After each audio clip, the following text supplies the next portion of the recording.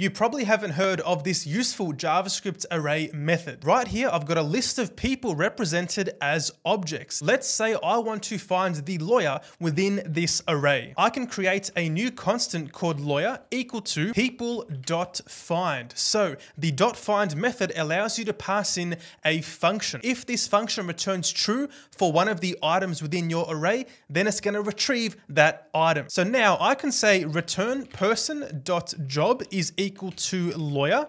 And if this returns true, which it will for Anna, then lawyer is going to be the second object in the array. And you can find the full video tutorial linked in the comments.